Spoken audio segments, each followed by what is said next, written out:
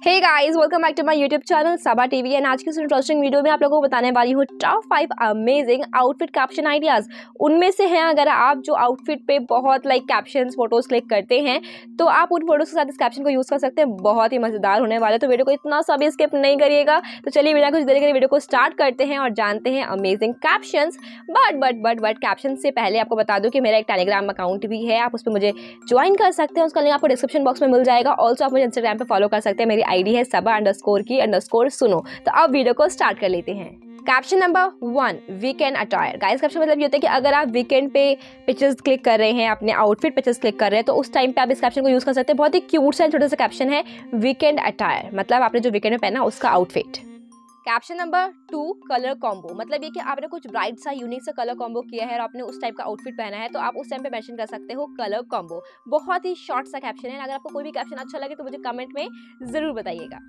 Caption number three almost total black guys caption मतलब ये होता है कि पूरा अगर आपने ब्लैक आउटफिट वियर करा है तो आप लिख सकते हो ऑलमोस्ट टोटल ब्लैक थोड़ा बहुत अगर ब्लैक से हट भी जाए तो उसको आप पूरा ब्लैक बोल के लिख सकते हो as a caption caption number four everything oversize please guys caption मतलब ये होता है कि आजकल you know oversize dresses का oversize jeans T shirt का बहुत ट्रेंड है एंड सब वियर कर रहे हैं. इवन मैं भी वियर करती हूँ. तो अगर आपने कुछ ओवर साइज़ आउटफिट पहना है तो आप यूज़ कर सकते हो इस कैप्शन को. Option number five dress like you are already famous guys इसका ऑप्शन मतलब ये होता है कि ऐसे ड्रेसअप करो जैसे कि आप बहुत फ़ेमस सेलिब्रिटी हो। आपको फ़ेमस समझो मतलब मानो। तो अगर आपने कुछ वैसा ड्रेसअप किया है और वैसे एटीट्यूड में आप सेल्फीज एंड क्लिक कर रहे हो सेल्फीज एंड पिक्चर्स क्लिक कर रहे हो तो उस टाइम पे आप इस कैप्शन को यूज़ कर सकते हो। तो गाइस आज इस वीडियो में बस इतना ही। मुझे उम्मीद है आपको ये पाँचों कैप्शन आइडियाज़ अच्छे लगे होंगे। अगर आपको ये वीडियो अच्छी लगी तो इस वीडियो को लाइक करें शेयर करें एंड कमेंट मुझे बताएँ कि आपको कौन सा अच्छा लगा।